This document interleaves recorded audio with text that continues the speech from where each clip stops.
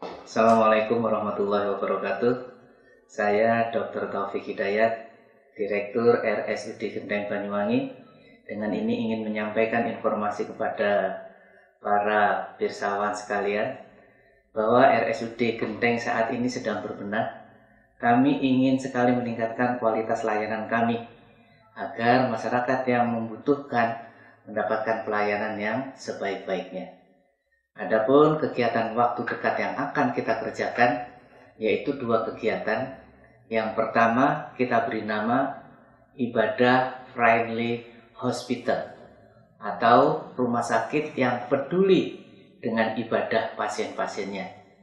Contoh untuk yang beragama Islam, mulai pasien yang lahir sampai pasien meninggal dunia dari sisi ibadahnya kita perhatikan. Pasien yang baru lahir, kalau memang muslim, maka akan kita siapkan petugas khusus yang akan adzan dan komat ya, terhadap pasien yang baru lahir tersebut bila keluarga pasien tidak bersedia untuk melakukan kegiatan tersebut dan minta tolong kami untuk melaksanakan.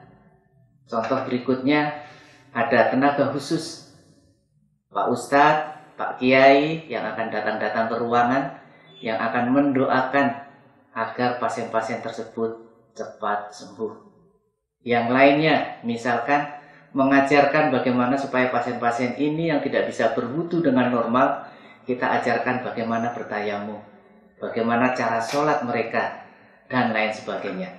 Dan yang terakhir, untuk pasien yang meninggal, kita pun menyiapkan bantuan.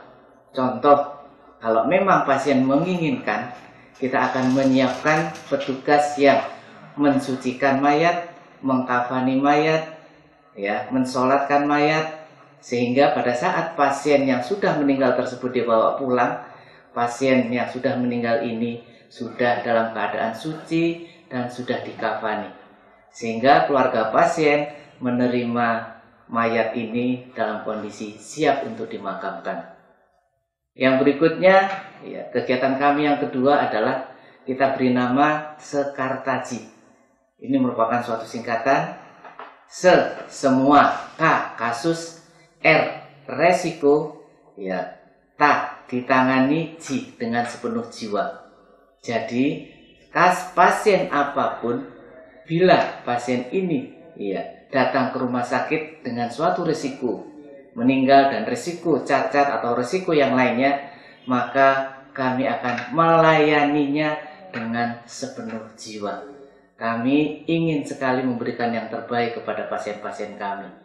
Untuk itu, semua yang dibutuhkan dalam rangka menunjang dua kegiatan ini saat ini sedang kita siapkan dengan sebaik-baiknya. Mudah-mudahan dalam waktu dekat kegiatan ini sudah dapat berjalan dengan lancar.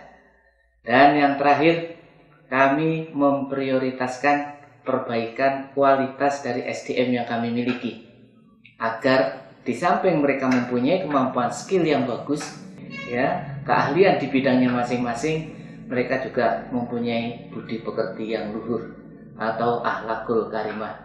Dengan demikian kami berharap pasien-pasien yang datang ke RSUD Genteng mendapatkan pelayanan prima, pelayanan yang optimal dan dengan mendapatkan ya, ucapan sambutan pelayanan yang terbaik dan diiringi dengan senyum sehingga pasien-pasien ini dapat puas dengan pelayanan kami. Untuk itu kami mohon doanya, mudah-mudahan apa yang kita kerjakan ini, upaya yang sedang kita lakukan ini mendapatkan ridho dari Yang Maha Kuasa. Saya akhiri, wassalamualaikum warahmatullahi wabarakatuh.